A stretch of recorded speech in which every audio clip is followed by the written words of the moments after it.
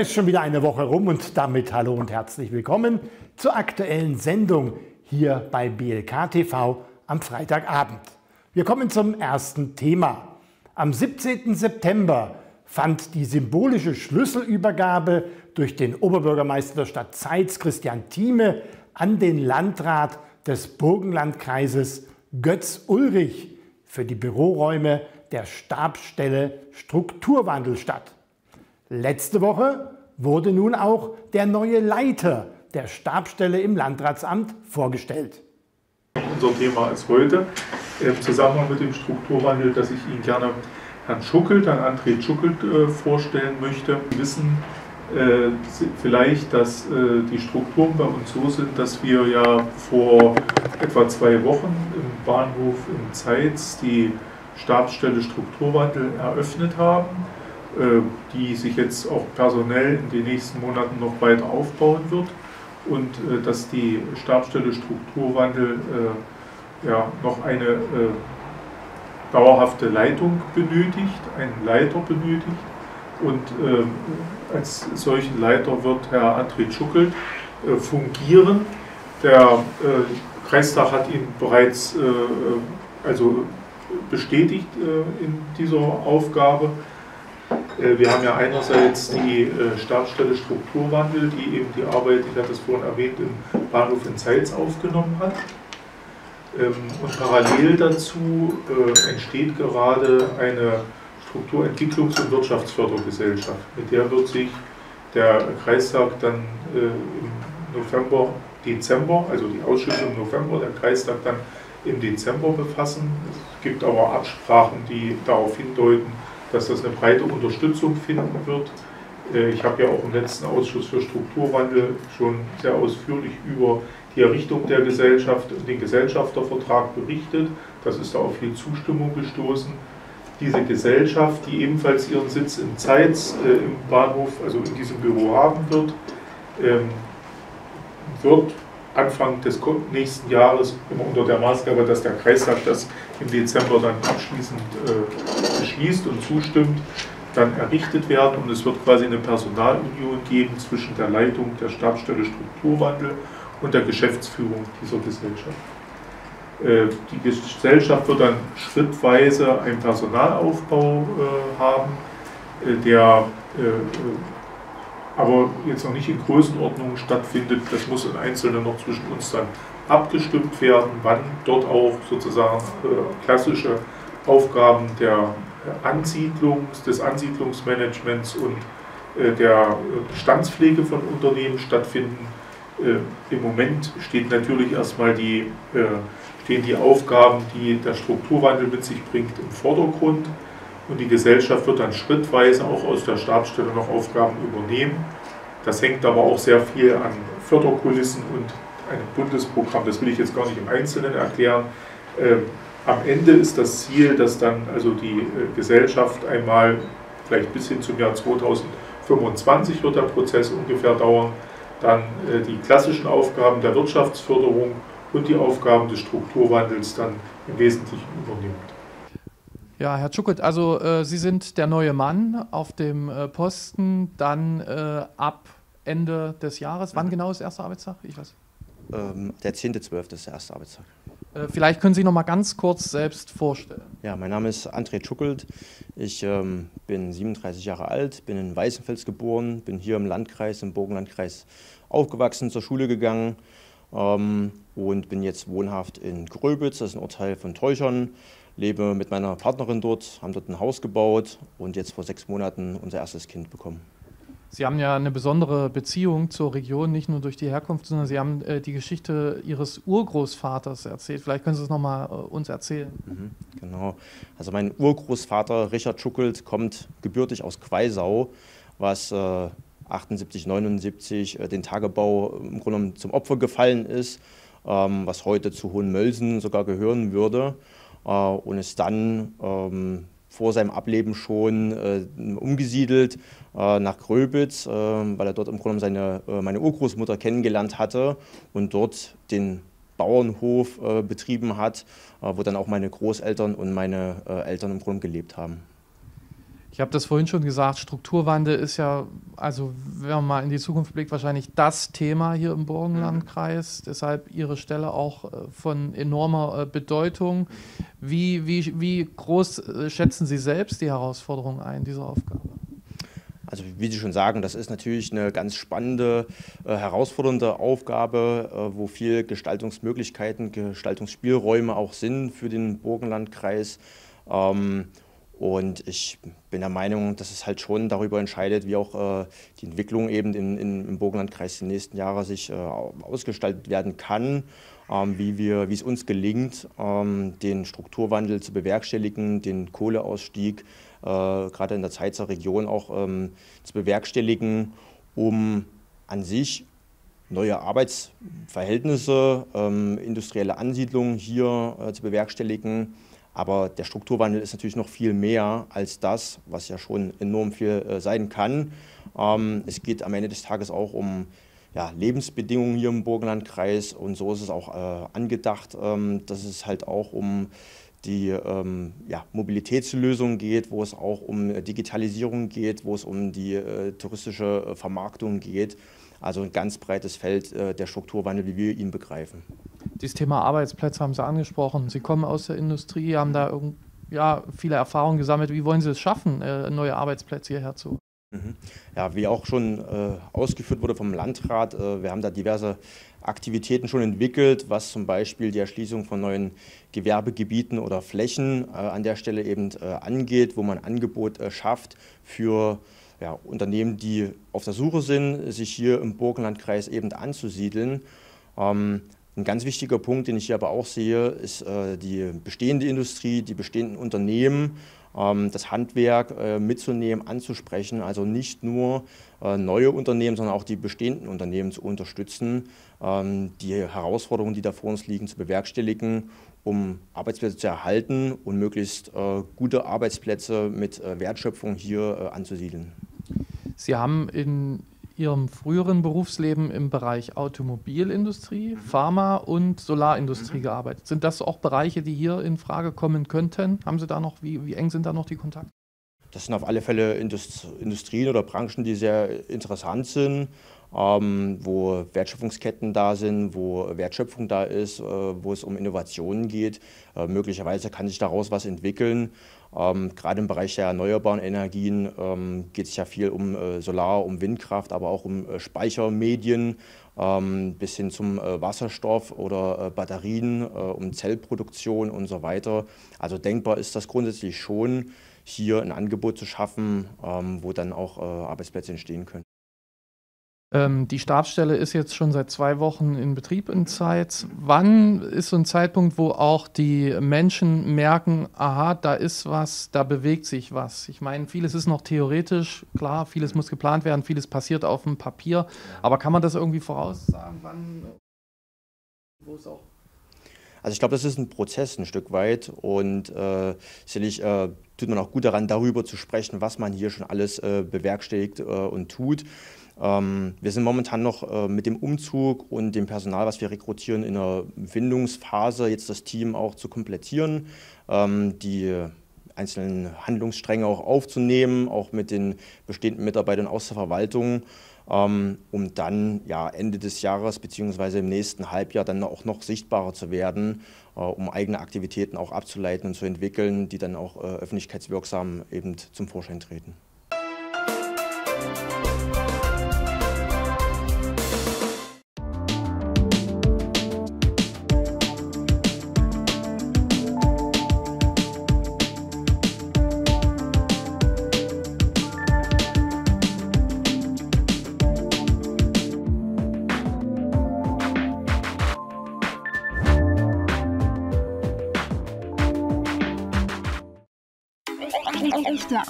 Die beste Musik. Die beste Musik. Sahnewelle. Hör dich glücklich.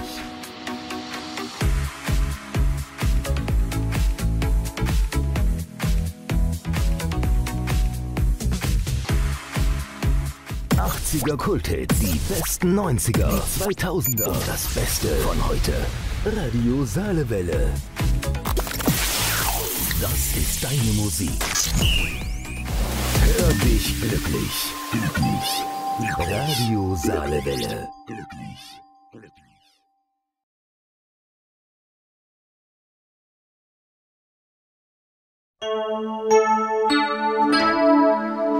Moin Großer, alles Gute zum 18.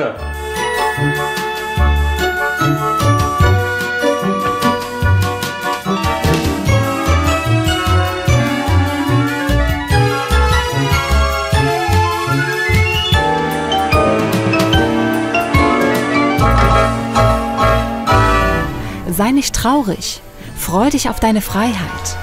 Ab heute stressfrei wohnen bei der WVW.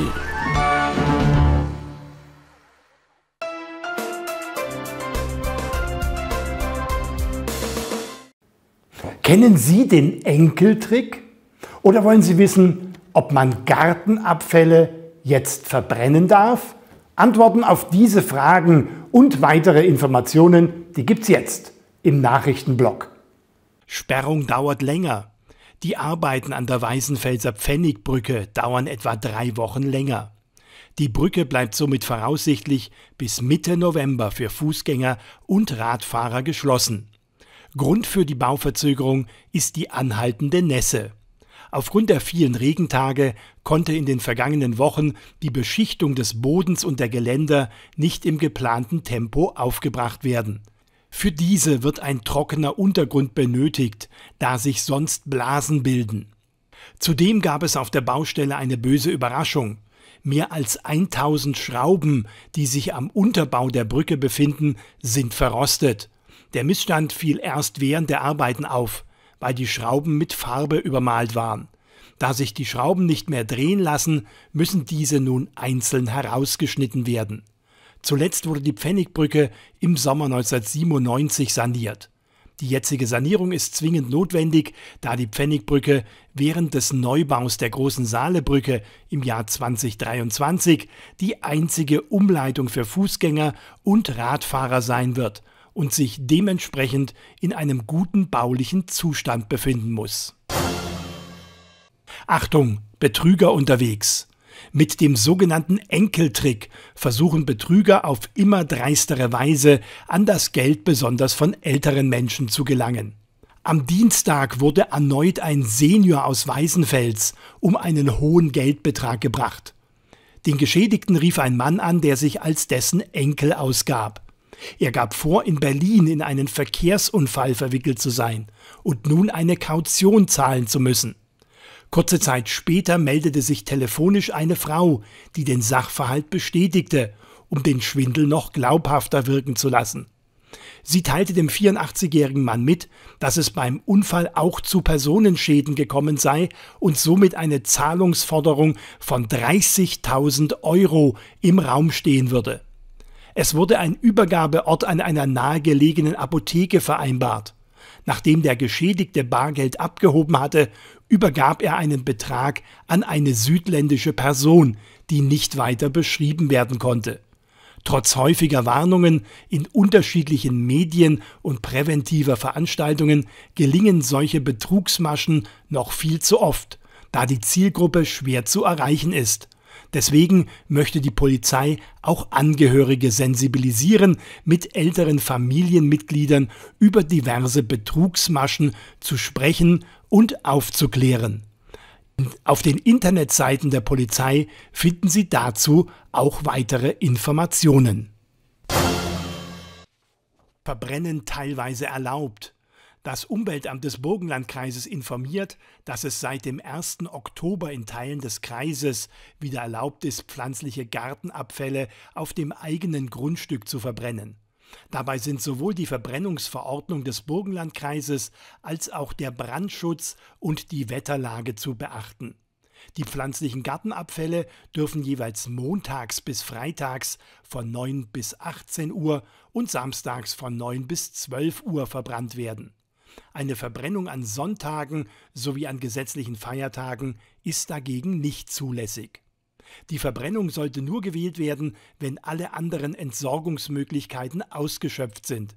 Wer dennoch verbrennt, sollte die Gartenabfälle grundsätzlich vorher komplett umschichten, um Kleinstlebewesen wie zum Beispiel Igel, Mäuse, Vögel und Insekten zu vertreiben.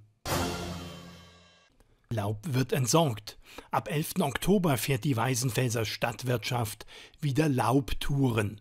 Die Routen können unter weißenfels.de in den Menüpunkten Bürgerservice, Bekanntmachungen, Auslegungen eingesehen werden.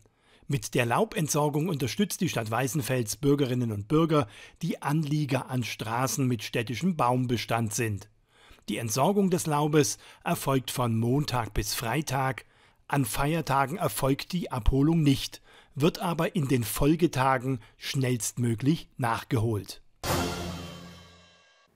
Ja, und jetzt raucht's wieder überall und in unseren Kurzmeldungen hatten wir es ja schon erwähnt. Seit dem 1. Oktober kann man wieder Gartenabfälle verbrennen. Was man allerdings dabei beachten muss und soll, das haben wir für Sie zusammengestellt im folgenden Beitrag. Auf dem selbstgenutzten Grundstück dürfen pflanzliche Gartenabfälle unter Beachtung des Brandschutzes und der Wetterlage verbrannt werden. Beim Verbrennen sollte man ausschließlich trockene pflanzliche Abfälle benutzen, also kein Laub, kein nasses Holz. Man sollte unbedingt die Witterungsverhältnisse einplanen. Man sollte nicht bei Regen, bei Wind, bei Sturm verbrennen. Das ist sehr wichtig. Bevor man jedoch das Streichholz an den aufgeschichteten Haufen legt, sollte man sich vergewissern, dass keine Tiere ihren Schlafplatz dort gefunden haben. Gerade Igel suchen sich solche Plätze. Die Tiere haben sich meist in aufgeschichteten Haufen ihren Platz gesucht. Hier bitte ich vorrangig die äh, Haufen umzuschichten, das ist äh, vorrangig ganz wichtig, die Tiere zu vergrämen, also zu rütteln an den Haufen, sie äh, im Zweifel wach zu machen, damit wir hier das Tierwohl schützen von den kleinen Tieren, die sich dort Unterschlupf gesucht haben. Nicht immer ist das Verbrennen die beste Lösung. Belastet dies doch erheblich die Umwelt und auch ihre Nachbarn. Wir sind natürlich hier immer bestrebt zu sagen, erstmal sollte das Material kompostiert werden. Vor einer Verwertung durch Verbrennung sollte man Eigenkompostierung durchführen oder natürlich die Annahmestellen der Abfallwirtschaft äh, benutzen, um dort das Material abzugeben. Das ist natürlich, das ist äh, überall so, dass natürlich Grundstücke nicht ausreichen, um das auf den Grundstücken zu verwerten. Da ist natürlich zunächst erstmal unsere Biotonne. Äh, ja, jeder, jedes Grundstück hat ja fast in unserem Landkreis eine Biotonne. Dort kann man natürlich den Astschnitt oder auch den, den Grünschnitt, also Rasenschnitt, äh, reinbringen. Und die wird ja alle 14 Tage abgeholt. Das ist eine Alternative. Es gibt dann natürlich auch noch weitere Alternativen. Wer noch mehr hat, kann das zu unseren Plätzen bringen. Wir haben drei Wertstoffhöfe, wir haben hier das Kompostwerk, wir haben einen äh, Kompostplatz in Hohenmölzen oder auch in Nisma und dann insgesamt noch elf verschiedene Grün- und Astschnittannahmeplätze. Die haben bestimmte Öffnungszeiten, die sind während der Saison geöffnet, meistens mindestens zweimal in der Woche. Und dort kann man das Material kostenfrei bis ein Kubikmeter hinbringen, allerdings nur für die Bürger, die auch im Landkreis wohnen. Was ist nun der Unterschied zwischen Ast- und Grünschnitt? Ja, Astschnitt ist das schon, was letztendlich von Bäumen mindestens fingerstark, äh, sage ich mal, entsteht und natürlich dann eben verwertet werden muss. Und Grünschnitt, Grünschnitt ist, äh, ist natürlich Laub, ist Rasenschnitt, also schon wesentlich feineres Material, was dann natürlich Richtung Kompostierung wir verarbeiten und den Aschschnitt, den schreddern wir, den sieben wir nochmal ab und die groben Bestandteile gehen dann in Biomassekraftwerke, werden also dort ja, zur Energie äh, verheizt. Ja. Eine Abgabe bei den Annahmestellen hat auch noch einen großen Vorteil. Hier kann der Kleingärtner auch gleich fertigen Dünger wieder mitnehmen. Das ist möglich. Äh, jeder Bürger, der hier, wie gesagt, natürlich äh, dann Grasschnitt oder Aschschnitt hierher bringt, kann natürlich auch äh, Kompost mitnehmen. Das ist in gewisser Hinsicht eine kleine Gebühr, die er bezahlen muss, aber lohnt sich sehr, denn dieser Kompost ist Güte qualifiziert. Das heißt, er hat sehr hohen Wert, nicht nur Nährstoffwert, sondern auch als Bodenverbesserer und kann damit, sage ich mal, den, ja, den, den äh, Gemüsebauern, den Kleingärtner wirklich helfen, seine Erträge zu stabilisieren. Natürlich gehört auf das Feuer im Garten oder Grundstück nur das abgeschnittene Material der Bäume und Sträucher. Es ist also grundsätzlich verboten, anderen Unrat, anderen Abfall, sprich also Plastik, Reifen, etc. auf das Feuer zu werfen. Wir bitten hier ausschließlich darum, bedacht mit den Feuerstellen umzugehen. Auch hier werden Kollegen, Mitarbeiter des Umweltamtes auch an den Wochenenden Kontrollen durchführen, dass die Feuerstelle ausschließlich mit trockenen pflanzlichen Abfällen äh, verwendet wird. Also hier bitte ich, jeglichen anderen Unrat nicht auf das Feuer zu werfen. Hier werden Ordnungswidrigkeitsverfahren durchgeführt, hier werden Ordnungswidrigkeiten geahndet. Die Verursacher bzw. die Bürger, die gegen die äh, Vorschriften der Verbrennungsverordnung verstoßen, bekommen ein Ordnungswidrigkeitsgeld aufgelegt bzw. Verwarngeld ausgesprochen.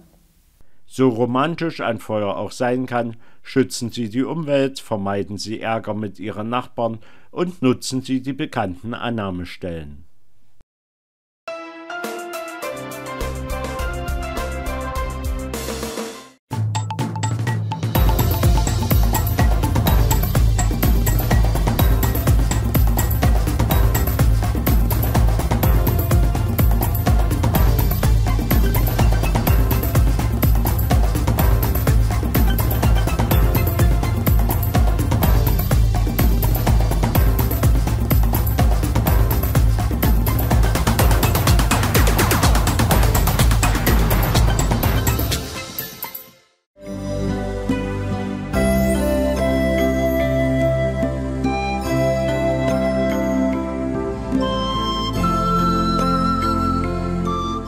Rico-Möbel. Wir bringen Farbe in Ihr Leben.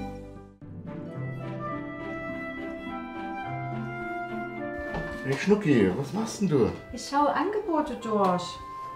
Ich hab da eine Idee, komm mal mit. Ah, warte, warte, warte, ich brauche Nee, noch meine nee. Angebote. Machen auch Sie Schluss mit lästigem Prospektewälzen. Im E-Center Hinze bekommen Sie immer alles frisch, günstig und von vielen regionalen Erzeugern. Wie zum Beispiel Obst und Gemüse, Lebensmittel, Freiburger Weine und Naumburger Bier. Entscheiden auch Sie sich bewusst fürs Einkaufen und Genießen in Ihrer Heimat. Wir lieben Lebensmittel und freuen uns auf Ihren Besuch. Ihr E-Center Hinze in Naumburg.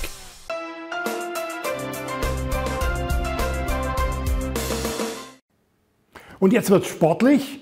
Fußball, Handball, Floorball, Basketball oder Kegeln. Die Auswahl an Sportveranstaltungen am Wochenende ist ja wieder sehr groß.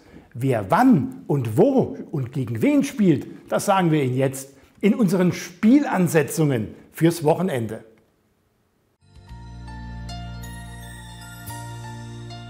In der Verbandsliga Süd reist die Mannschaft vom SSC Weißenfels zum SV Kelbra. Anpfiff ist um 14 Uhr. In der Landesklasse 9 kommt es zur Begegnung SV Spora gegen die Elf vom 1. FC Zeitz. Und Wacker Wengelsdorf begrüßt die Mannschaft vom SV Burgwerden. Los geht's jeweils am Samstag um 15 Uhr. Kommen wir zum Handball. In der Sachsen-Anhalt-Liga reist am Samstag die zweite Mannschaft vom HC Burgenland zum HSV Haldensleben. Die SG Spergau begrüßt auf heimischem Parkett das Team vom HV Stassfurt. In der Handball-Oberliga empfangen die Damen vom HC Burgenland am Samstag das Team vom SV Aufbau Altenburg. Los geht's um 15 Uhr in der Sporthalle Brittitz. Und in der Verbandsliga geht's für den WHV zum SV Anhalt Bernburg. In der Volleyball-Landesoberliga treffen die Damen vom SV Motor Zeitz am Samstag in Magdeburg auf das Team von Medizin Magdeburg und auf die zweite Mannschaft vom USV Halle. In der Floorball-Bundesliga empfangen die Damen vom UHC am Sonntag die Mannschaft der Dümptener Füchse.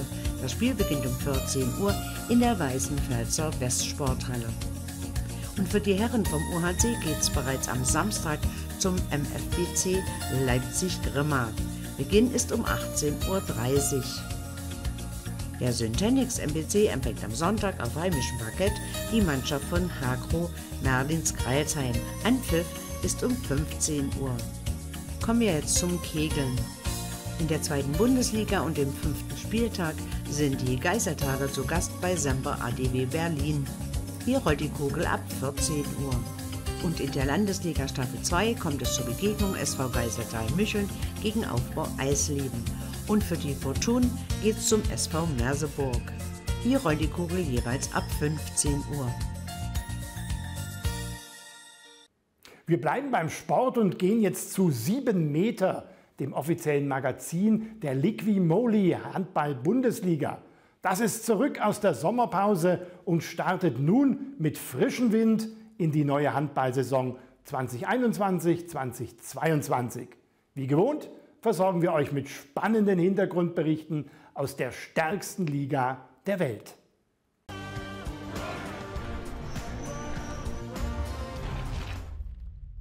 Sieben Meter startet in die Saison 2021-22 und das mit dem Trainer des Rekordaufsteigers. Der TUS N Lübbecke ist zurück in der Liquimoli HBL und Coach Emil Kurtagic stellt seine Traumsieben auf. Ja, äh, ich bin Emil Kurtagic, Trainer vom TUS N Lübbecke im dritten Jahr. Ähm, haben letztes Jahr den Aufstieg gefeiert und sind jetzt aktuell in der ersten Liga unterwegs. Und ähm, ja, heute stelle ich meine Traumsieben vor. Für die Torwartposition konnte ich mich schwer zwischen zwei Spielern entscheiden oder zwei Torhütern entscheiden. Einmal ähm, Thierry Omayer, der sicherlich auch diese Ära meiner, meiner Zeit, seitdem ich auch äh, mich äh, mit Handball beschäftige, so geprägt hat. Aber ähm, ich habe mich für Henning Fritz entschieden, weil ähm, er für mich einfach eine, eine, eine Persönlichkeit ist, der, der das Torwart äh, Spieler in Deutschland auf ein, ein, ein höheres Niveau gebracht hat. Dazu die zahlreichen Titel. Ich glaube, Höhepunkt mit, mit WM 2007, wo er einfach sensationell äh, war und, und ich glaube auch wirklich einen großen Einfluss auf, auf das Torwartspiel in der neuen Zeit gehabt hat. Ich würde auch da äh, bei Stefan Kretschmer bleiben, äh, weil ähnlich äh, wie ich das auch vorhin mit, mit Henning Fritz gesagt habe, finde ich, dass er auch extrem viel für unsere Sportart getan hat. Also ich kann mich erinnern, dass ich 1995 nach, nach Gummersbach gezogen bin und da war er äh, noch, also war schon ein Star, aber in Gummersbach vielleicht noch ein, ein Sternchen, sagen wir es mal so, aber auf jeden Fall jemand, zu dem man ähm, als, als Jugendlicher auch ähm, aufgeschaut hat und, und äh, ich glaube auch die Entwicklung, äh, wie, wie früh er ähm, unsere Sportart halt eben auch medial äh, nach vorne gepusht hat, äh, neben natürlich auch seinen sportlichen Leistungen, ähm, finde ich, dass er das verdient, dann auf diese Position genannt zu werden. Eigentlich wollte ich äh, keinen aktiven Spieler, sowieso aus der Bundesliga auch nicht nennen, aber ich werde trotzdem einen, einen aktiven Spieler nennen in dieser sieben und das ist Nikola Karabatic. Ich habe es nicht nachgeschaut, ich weiß, dass er glaube ich 65 Titel gesammelt hat und das ist schon rekordverdächtig. Für mich ist das halt wirklich eine Persönlichkeit, die mit Leidenschaft, Einsatz, äh, schonungslos in, in jeder Aktion, bei egal welchem Spielstand, äh, egal gegen welchen Gegner äh, in, in, in, im Spiel äh, immer alles gegeben hat. Und, und, ich glaube, deswegen ist er für mich auf der Königsposition auch ganz klar die Nummer eins. Ich würde ein bisschen weiter zurückgehen und, und auch einen ehemaligen Lübecker oder Nettelstädter erwähnen, das ist Dalan Duschebaev. Ähm, ich glaube, dass er so in der neuen Zeit der, der, der, des Handballs ähm, die größte Veränderung in unserer Sportart auch gebracht hat, sowohl äh, physisch als auch äh, technisch-taktisch und, und es war einfach ein Wahnsinns, Wahnsinnsspieler. Ich habe vorhin äh, 95 erwähnt mit Kretschmer, da ist äh, ein Nicht-Europäer nach Gummersbach gekommen, ähm, der damals von der WM, 2000, äh, äh, von der WM 95 äh, direkt nach Gummersbach gekommen ist, Kyung Shin Yoon. Ähm, ich hatte das Glück, ein Jahr mit ihm auch äh, trainieren zu können und, und äh, ihn auch live zu erleben. Für mich ist das ein, ein, ein, ein Phänomen. Er konnte in jeder, in jeder Situation, wo er wollte, ein Tor erzielen oder etwas machen. Und das ist äh, mit seiner Größe ähm, einfach und, und, mit seiner Beweglichkeit. Das, war, das ist ein Ausnahmespieler auf der Position. Der, jemand, den ich gerne in meiner Sieben hätte. Und dazu ist er ein guter Freund von mir. Von daher ist dieser Platz für ihn reserviert. Ihr merkt, bin viel in meiner Jugend- oder, oder Erwachsenwerdenzeit. Ähm, also gehe ich jetzt ein bisschen in meine Kindheit zurück und, und werde da Irfan Smajlagic nennen, äh, kroatischen Nationalspieler auf rechts außen. Ähm, ich kann mich an die ganz vielen Spiele erinnern, wo man einfach vor dem Fernsehen äh, ihn bestaunen konnte und einfach äh, das Erste, was man am Spiel gemacht hat, ist Ball zu nehmen und zu versuchen nachzumachen, was er gerade im Spiel gezeigt hat. Und für mich ist er einfach ein Künstler, der gefühlt aus jedem Winkel, ihn, aus jedem Winkel Tor erzielen konnte und, und, und hat auch äh, eine, ja, schon äh, extrem positive Erinnerungen in meinem Kopf oder, oder ich verbinde sehr viel Positives mit ihm und dieser Position. Werde auch mein, zu, dem, zu dem Zeitpunkt mein Vorbild äh, nennen, das ist Magnus Wieslander. Ähm, er hat sehr, sehr viele Jahre als, als Rückraum-Mittelspieler agiert und die letzten Jahre am Kreis auch wieder unter Beweis gestellt, dass er einer der Besten ist, äh, die, die, unsere Sportart äh, gespielt haben. Und, und äh, ja, also wenn ich, wenn ich, ihn schon als mein Vorbild nenne, dann muss ich ihn natürlich auch in meine Sieben äh, aufnehmen. Weiter geht's mit Tipps für euer Training. Recke Evgeni Pevnov hat vor allem für Kreisläufer ein paar Tricks im Gepäck.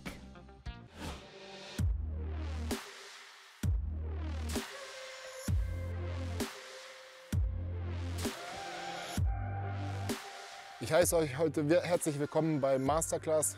Janis und ich zeigen euch heute ein paar Fangübungen, die ich für mich am Kreis äh, für sehr wichtig empfinde und ähm, ich an euch gerne weitergeben würde. Wir verstärken heute meine Griffkraft und die Kontrolle des Balles. Der Ball wird im Radius von meinen Armen zu mir gespielt und ich versuche ihn zu fangen und zu kontrollieren.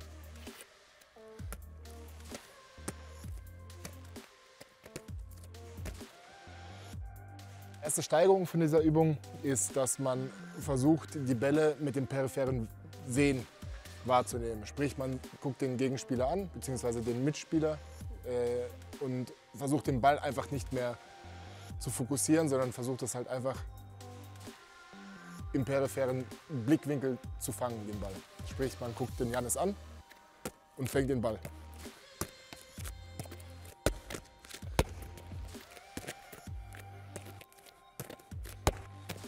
Was der Mitspieler in der Situation machen kann, ist den Ball über den Bodenpass zu dir spielen, denn das erschwert das zusätzlich. Um das alles nochmal um eine Stufe zu erschweren, kann dein Gegenspieler bzw. dein Mitspieler einfach näher an dich ranrücken. Bis zu diesem Punkt, wo du den Ball nicht mehr kontrollieren kannst. Und das ist so im Endeffekt dieser Abstand, wo du weißt, okay, alles klar, bis dahin und dann muss ich trainieren.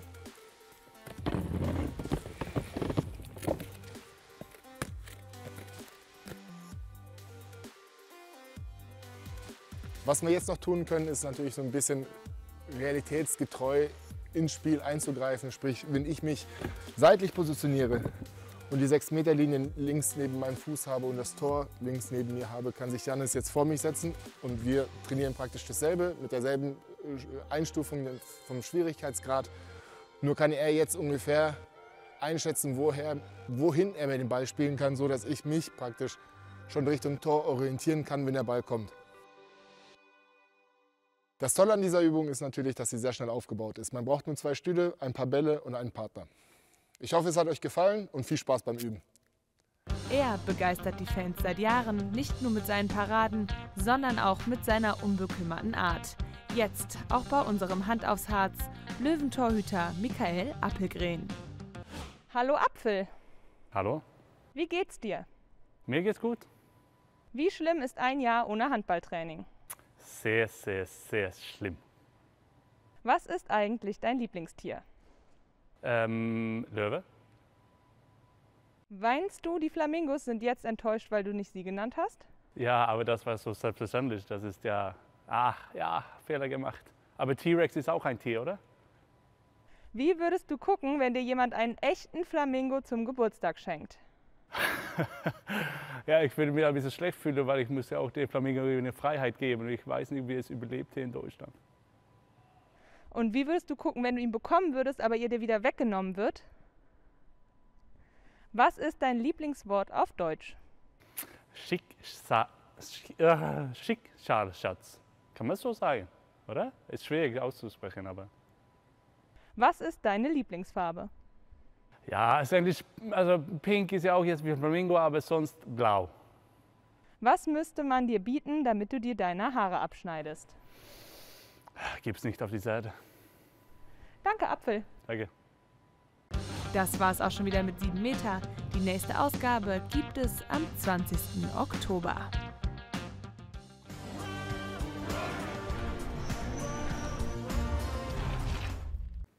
Ja, und das war's schon wieder Freitagabend, das Wochenende steht vor der Tür. Wettergott hat gesagt, es soll ein schönes herbstliches Wochenende werden mit Sonnenschein. Also freuen wir uns drauf. Wir erholen uns alle gut und falls Sie ein bisschen kränkeln, dann wünsche ich Ihnen jetzt schon mal gute Besserung. Also machen Sie es gut. Bis zum nächsten Dienstagabend, dann sind wir wieder hier mit aktuellen Meldungen und auch mit dem Sport vom Wochenende, wie gewohnt, hier bei Ihrem BLK TV. Ein schönes Wochenende wünsche ich. Machen Sie es gut. Tschüss und auf Wiedersehen.